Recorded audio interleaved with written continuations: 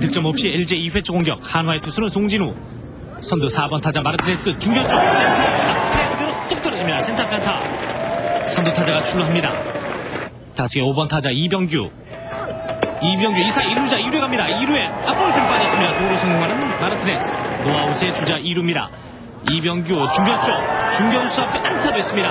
마르티네스는 3루에서 멈췄습니다. 노아웃 주자 1루와 3루. 다시 6번 타자 박용택 타고 3루 쪽 3루 잡아서 2루에 포스아웃 1루에 1루에 아웃됐습니다. 병살타. 그러나 3루자 홈인 1대0 한 점 앞서가는 LG 트윈스.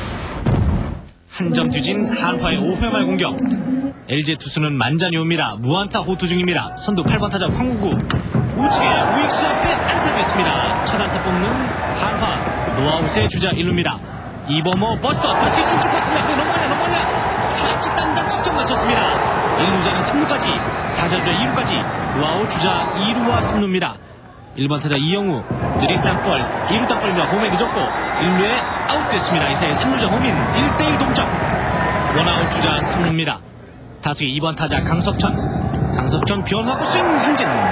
투아웃 됐습니다. 투아웃의 주자 3루. 송지만 스윙 스타일 높은 볼 그대로 칩니다. 1대1 동점입니다. LG의 8회 초 공격 송진우 3회부터 한 명도 출루시키지 않고 있습니다. 대타 최만호 바깥쪽 삼진. 7번 타자 손지환 몸쪽에 스트럭아웃 6회 연속 3자 범퇴시키고 있는 송진우 투수. 4시간여의 혈투입니다. 연장 10회 초 LG 공격 투아웃 주자 만루입니다. 한화 투수 피코타 위기 맞고 있습니다. 8번 타자 장재중.